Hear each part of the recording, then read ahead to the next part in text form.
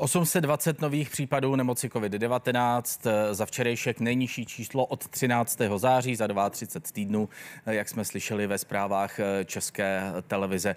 Trochu na druhou stranu ale klesá také počet těch, kteří byli na očkování. To jsou základní čísla, která rámují jedno z témat dnešního vysílání z Pravodajské 24. Roman Primula, poradce prezidenta republiky, někdejší minister zdravotnictví, teď ve studiu ČT24. Dobrý den, pane profesore, děkuji, že jste dorazil. Dobrý den. Teď už je to definitivní pozitivní, že epidemie je na ústupu? Tak my to vidíme už řadu týdnů, ten eh, setrvalý trend tady je eh, zcela markantní, byť není nějak prudký, ale myslím si, že ta čísla jsou skutečně pozitivní pro nás, to znamená, jdeme dolů. Epidemie eh, tedy končí to lehké rozvolnění. Před minulý týden to tedy nepřineslo nic dramatického, nic negativního. Ono, ty dopady nejsou vidět hned, to spoždění tady je, ale zatím nejsou skutečně vidět nějaké známky, že by se ten sestup zastavil, stále to klesá. Hmm. No a kdyby se ten předminulý týden rozvolnilo o trochu víc, tak by to taky neudělalo nic? to rozvolnění by muselo být poměrně masivní, aby to bylo vidět hned. Ta populace teď je zatížena skutečně výrazně méně, než tomu bylo v minulosti. A druhá věc je, že tady už máme poměrně vysoké procento osob, které to onemocnění prodělali a poměrně narůstající procento osob, které eh, bylo očkováno. To znamená, tato kombinace garantuje, že by tady neměl být nějaký úplně prudký nárůst. Hmm. No, já se ptám z toho důvodu, protože vystává otázka, jestli ty restrikce v danou chvíli už nejsou příliš přísné, jestli to rozvolňování nemůže být rychlejší právě proto, že platí ty parametry, které jste teď říkal. Narůstající počet očkovaných a poměrně velký počet lidí, kteří si tou nemocí prošli. Eh, jistě možné všechno, nicméně ta zkušenost eh, z těch minulých měsíců, eh, kdy se dvakrát rozvolnilo velmi rychle a ty dopady byly poměrně dramatické, tak si myslím, že to rozvolňování bude opatrné a že tam budou v podstatě 14 denní odstupy, aby se vidělo, jestli se něco děje nebo nikoli. Jde o to, jestli to kivadlo není zase tak, jak bylo extrémně na podzim, před Vánocemi extrémně na jedné straně, že se rozvolňovalo rychle, jak říkáte, jestli není zbytečně extrémně na té druhé straně straně, že se zase rozvolňuje zbytečně pomalu, pomalu se vracíme do normálního života. Mnozí kritizují, že děti stále nejsou ve škole, nemohou sportovat, eh, některé služby jsou omezené. Eh, jestli to rozvolňování přece jenom nemůže být rychlejší, jestli tu není zbytečně striktní opatrnost. Určitě něco rychlejší být může. Na druhou stranu eh, ta čísla ještě eh, nejsou úplně nízká a eh, když vezmeme všednodenní hodnoty, které se pohybují lehce nad dvěma a půl tisíci případů, tak to je číslo, které v řadě zemí by zbuzovalo poměrně nervozitu a naopak by se opatření zaváděla. Takže my jsme zvyklí teď na obrovská čísla z minulosti, ale stále ještě nejsme kolem toho tisíce, abychom mohli rozvolnit mnohem razantněji. Mm-hmm. Dnes eh, se eh, tedy otevírají střední školy pro praktickou výuku, poslední ročníky. Eh, vysokých škol, budou se otevírat kompletní mateřské školky v některých krajích, budou se otevírat venkovní expozice, muzeí například, také v některých krajích. Tam je podmínkou ta týdenní incidence méně než 100 na 100 tisíc obyvatel. To je správná hranice těch 100 na 100, to je zhruba, asi jestli jsem dobře počítal, tak je to zhruba v průměru 1500 denně přibývajících nových nákaz za poslední týden. Je to zhruba tak, eh, samozřejmě ty hranice jsou nějakým způsobem arbitrálně dohodnuty. Eh, kdyby ta hranice byla 11 tisíc nebo 9 tisíc, tak asi eh, ten rozdíl nebude nějak dramatický, ale pravdou je, že snaha, aby ten denní přírůstek v těch všetních dnech nebyl větší než 2 tisíce, bude to někde kolem 1800, 1700 a během těch víkendů je to podstatně nižší, což je dosažitelné. Na to jsem se právě chtěl zeptat, proč je ta hranice stanovena zrovna takhle. Opírá se to o nějaké empirické zkušenosti nebo o nějaké eh, matematické výpočty, když je ta hranice taková, tak eh, nárůst nemocí bude takový i v dlouhodobém horizontu, když bude vyšší, bude to horší, když bude nižší, eh, tak to zase bude jiné. O co se to opírá? Tak ono s tou epidemí stále ty zkušenosti nejsou velké a musíme říci, že se to dramaticky mění. To znamená, tyto nárůsty, kdyby tady byly před třemi měsíci, tak znamenají úplně něco jiného než teď právě z hlediska toho, jak se mění to prostředí kolem, to znamená počty, které prodělali onemocnění a podobně, takže jsou tu nějaké kvalifikované odhady, nějaké kalkulace, které eh, tuto hra, hranici zvolili. Samozřejmě dá se najít jiná hranice, hmm. ale je blízko tohoto čísla.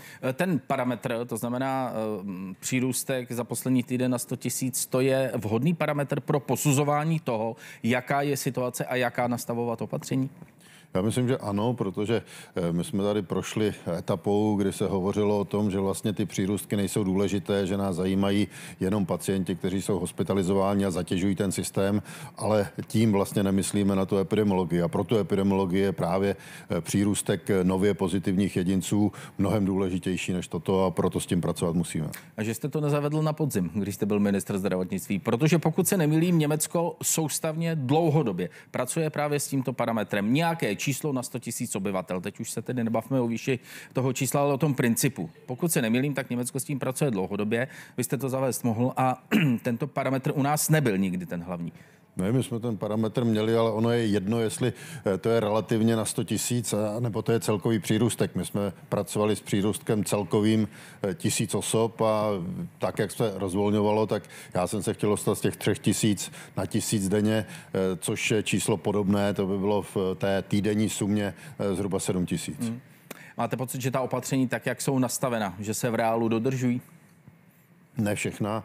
Na druhou stranu Řada těch opatření dodržována je. Eh, to, co já tady vidím jako problém a kde si dovedu představit, že by se to mohlo zmírnit, jsou právě ty zahrádky, protože když člověk eh, prochází Prahou a jinými městy, tak kolem těch eh, okének je taková akumulace lidí, že to každý musí vidět a to znamená tady to riziko. Já se troufám domnívat, že je větší, než kdyby ty lidé seděli na zahrádce. No právě a ono už je to delší dobu, když se rozhlednete po ulicích, jak to vypadá a v podstatě od začátku března máme setrvalý pokles těch případů. To znamená, i za neúplného dodržování případů se v zásadě epidemicky očividně, pakliže ta čísla jsou správná, eh, tak se nic neděje. Tudíž znovu vyvstává otázka, jestli ty zákazy nejsou zbytečně striktní. Ono, ono ne, že se nic neděje. Ten systém je nastaven právě eh, a postupně byl nějakým způsobem vytitrován, to znamená tyto eh, nedomykavosti v úvozovkách, to nedodržování v tom zakalkulováno je, protože eh, pokud bychom to nastavili tak, že by třeba tři opatření byla dodržována zcela bez zbytku, tak by ta ostatní nemusela být, a, ale ono to nedodržování tady samozřejmě je a musíme s ním počítat. Takže s tím se počítá v těch opatřeních. Nebude se dodržovat dodržovat všechno, mm-hmm. tak musíme být o něco přísnější. Určitě, protože celkový ten dopad eh, těch opatření, eh, někde přísnějších, někde méně přísných, je takový, jaký je a eh, je vidět, že se to mění s časem a pokud by to nedodržování stoupalo, tak samozřejmě se ta opatření přidávala v minulosti. Teď je to něco jiného, teď jsme na sestupné trajektorii a já nepočítám, že by se v těch následujících týdnech něco přidávalo.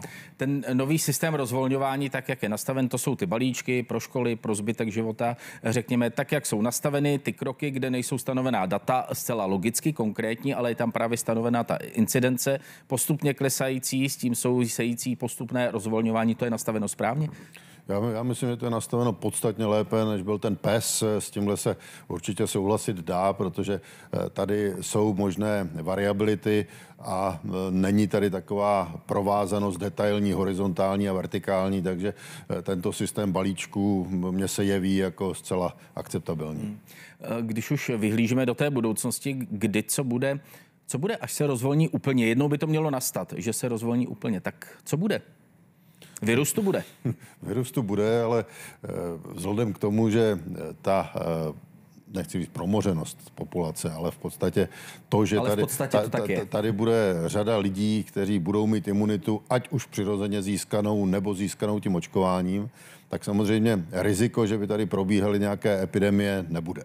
Na druhou stranu eh, se ukazuje, že bude nutné přeočkovávání, to znamená v tomto režimu s přeočkováváním tady už ty epidemie skutečně nebudou, ale budou tady eh, sporadická onemocnění, někde nějaká menší epidemie lokální, ale už by to nemělo být tak, že by to postihovalo celou země kouli a že by tady byly takovéto masivní epidemie, ale musíme si uvědomit, že celosvětově to bude výrazně opožděno. Ta Evropa eh, bude možná o rok dříve tuto situaci mít vyřešenou než zbytek světa, protože eh, některé ty rozvojové země se k těm vakcínám dostanou podstatně později. Počkejte, a vy už máte jistotu, že očkování znamená to, že se člověk nenakazí a to, že nebude přenášet virus dál?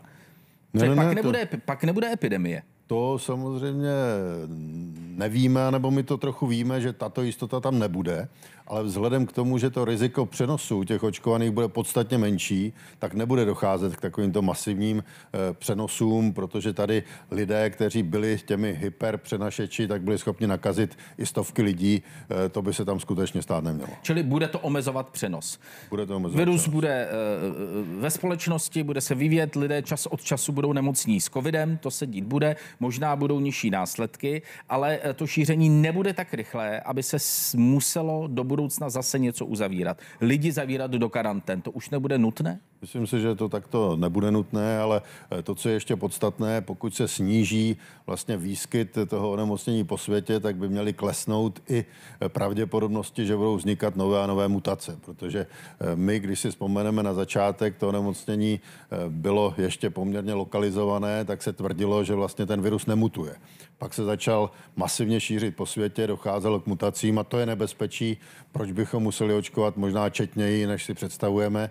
A pokud opravdu eh, ten eh, výskyt poklesne, tak by těch mutací nemělo být tolik. Hmm. A jak se tedy budeme chovat s covidem? Když se zjistí, že máme covid, asi nebudou tedy tak závažné průběhy díky očkování, předpokládám. Bude to tak. A s covidem budeme dělat co? Budeme v karanténě, zavření, budeme muset být doma, jenom to vyležet?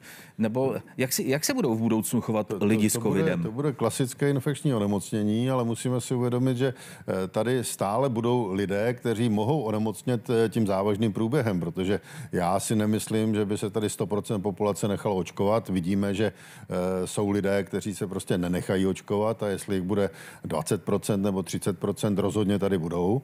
A u nich, pokud tam budou ještě rizikové faktory, tak samozřejmě může dojít k tomu, že ten COVID eh, bude i smrtící. To samozřejmě ano. Pane profesore, děkuji vám za rozhovor. Naschledanou. Děkuji, naschledanou. Roman Primula, poradce prezidenta a bývalý minister zdravotnictví ve vysílání z Pravodajské 24.